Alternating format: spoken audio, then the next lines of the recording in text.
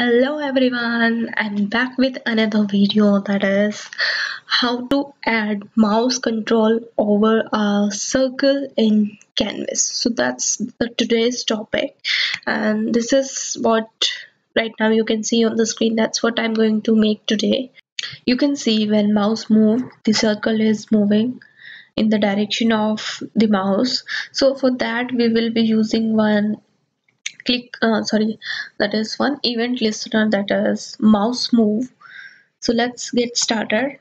So I have already written canvas with id animation and I have fetched that into my script. Now I'm starting with just writing my code that is the main code. So for firstly I'm writing that is I'm defining the variables. So let's start with var x equals to 100 and var y equals to 100 and also radius that is 70 so now I'm creating a function that will create my circle. So first of all write create circle function.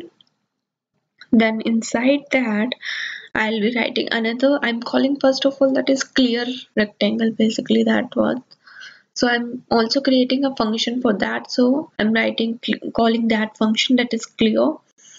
Then I'm defining my circle that is arc.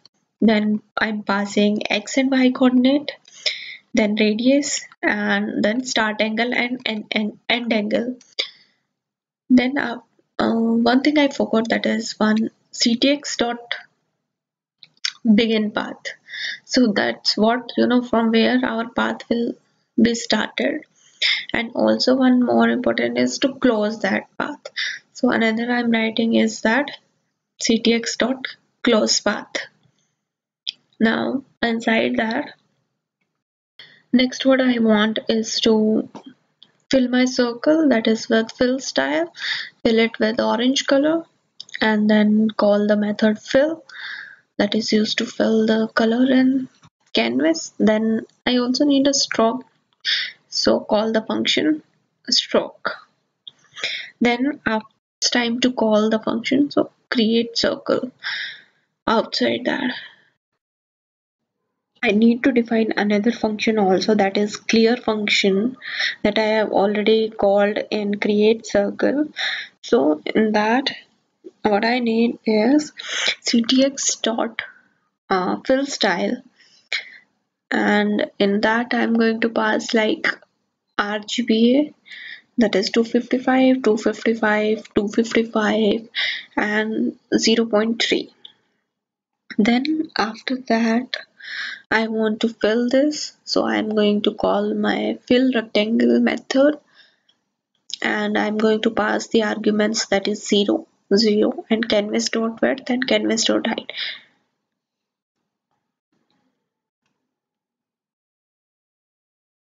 Now we will see our circle in chrome.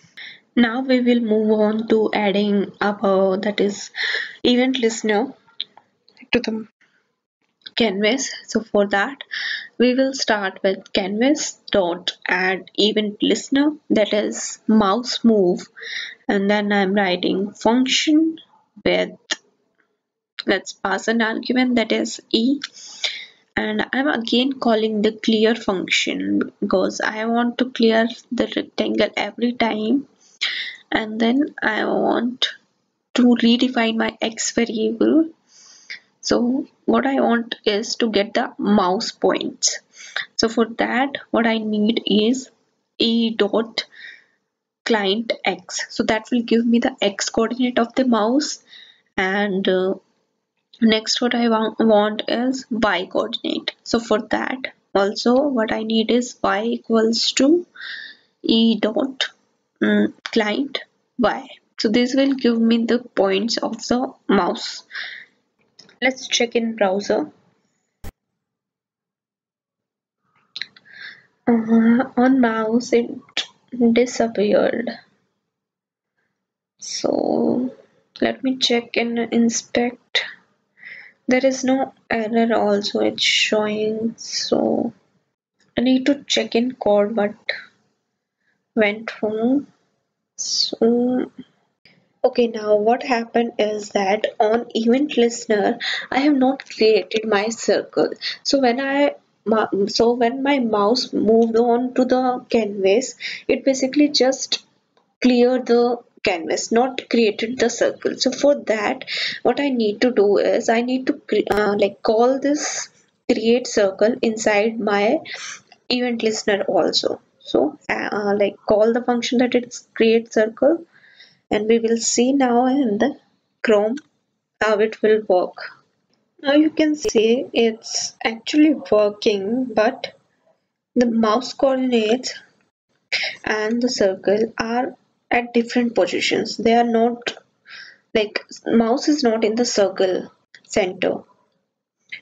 So to make that I need to change one more thing.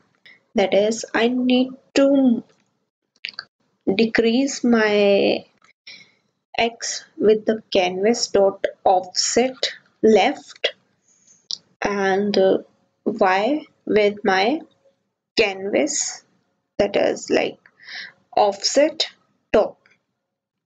So let's see how it will work. Refresh.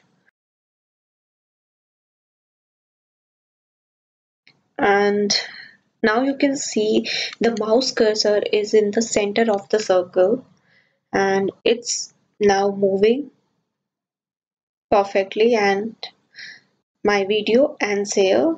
So i hope you like this video. Thank you so much for watching